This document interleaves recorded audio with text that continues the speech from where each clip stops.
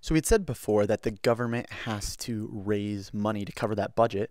They have to bring in revenue. And we said the main way that they do that is through taxation. So, what exactly is tax? Well, as you guys know, tax is just money that people have to pay to the government on a ton of different things. It might be income or profits, different transactions like a sales tax, property tax, and so much more. The government really does tax a whole lot of things. Why exactly does the government tax? Well, there's a lot of things as we talked about before in like unit three, as we talked about how public goods wouldn't be provided. Um, there's a big part of it that, you know, the government has to raise money in order to provide things like police, like fire, like the roads that we drive on, like parks. But not only that, in order for the government to function, they have to have money to do so. And so they tax the people that they are governing and in that way, the people are technically paying for the government to function. Taxes can also be used, though, to help modify people's behavior. Um, we know this uh, to be called a sin tax. We'll talk about those later on. But uh, sin tax is specifically like cigarettes. Uh, when we put a tax on cigarettes, make cigarettes more expensive, we're trying to keep people from buying cigarettes. Uh, but also through government programs, uh, taxes are used to help redistribute wealth right? We think about it in taxation that's used on things like Social Security and Medicare, Medicaid. Uh, what we're doing is we're, we're taking money and redistributing in a way that helps people out through these different government programs. Now, when it comes to bearing the burden of the tax, really, it's like who should be paying for this tax? There's kind of two major competing principles or two big ideas when it comes to it. There's one principle that's known as the benefits received principle, and it's the idea that people who are receiving benefits uh, f- from the uses of those taxes should be the ones paying for it, right? Uh, probably the most um, well known case of this is like the gas tax. Whether you know it or not, there is a tax that is placed on gas and it's used primarily to go toward roads.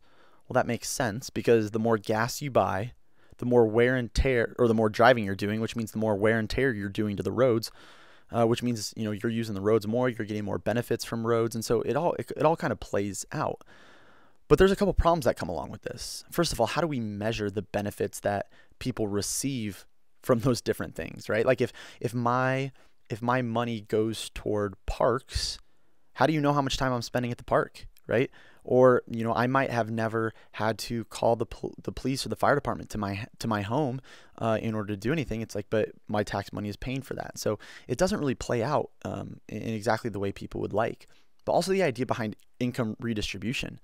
I mean, if you think about it, the people who need um, need their health care paid for, they need their health care paid for because they can't pay for their health care. And therefore, if you're expecting them to pay more in taxes in order to pay for your health care, that kind of defeats the purpose of it all.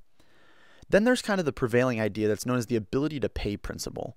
And this is the idea that taxes should be distributed based on people's income or really just their ability to pay.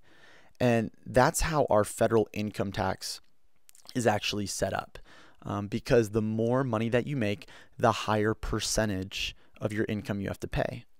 But again, we have some problems that come along with this. First of all, how do you exactly measure someone's quote ability? Just because somebody makes a certain amount of money, it doesn't mean that their ability is necessarily greater.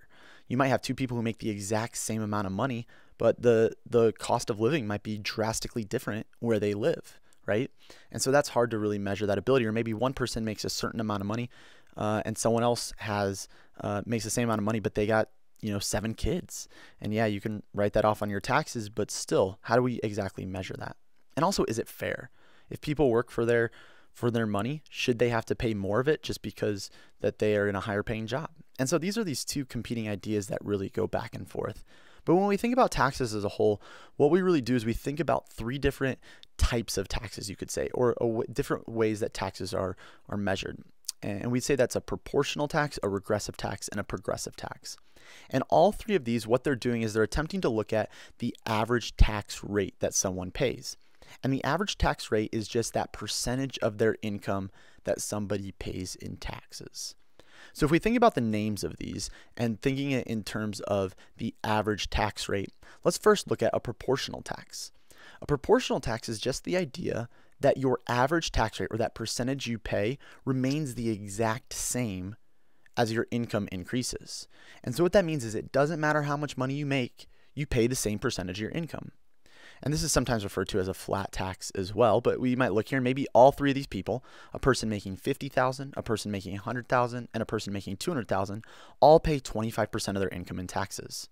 So the first person pays 12,500 in taxes, the second person pays 25,000 in taxes, and the third person pays 50,000 in taxes. Now a lot of people look at this and they're like, "Listen, flat tax, proportional tax, it is fair. Everybody's paying the same percentage." But it might seem like it's fair but those taxes weigh more heavily on the poor. Think about it somebody who makes $10,000 a year, they're going to feel that 25% a lot more than somebody who makes 100,000 or a million dollars a year, right? So the less money you make, that percentage of your income, uh, it'll weigh a lot more heavily on you. The next one we have is a regressive tax. And as you think of regressive, you think regress or to go backwards or to go down. This means that the average tax rate decreases as your income increases. And some of you might be like, well, why in the world would we have a tax like that? You make more money and you pay less of a percentage of your of your income. Well, if we look here, let's say we have it like this, right? The the lower um, money you make, the higher of a percentage you pay. And so if we were to, to, to kind of put these here and we think about it, we're like, well, how and why would this ever make any sense?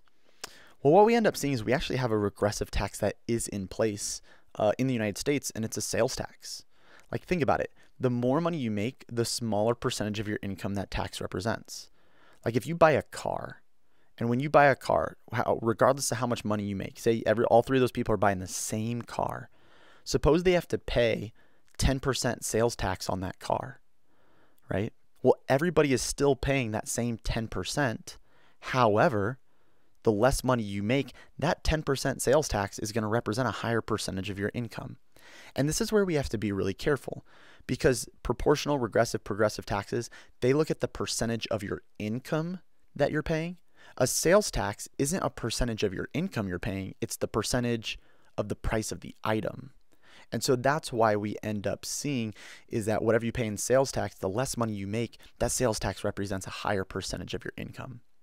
But what we end up seeing in the United States is we have something that's known as a progressive tax system. And this means that your average tax rate increases as your income increases. And so maybe someone who makes $50,000 only pays 20%. When you make $100,000, you pay 25%. You make you pay 200,000 you make $200,000, you pay 30%. And a lot of people look at this one and they say, "Yeah, that seems pretty fair." Um, this this income tax in the United States, where we call it sometimes progressive or a graduated income tax, because of this ability to pay principle. The more money that you make, you have more of the ability to pay more, so you should pay more.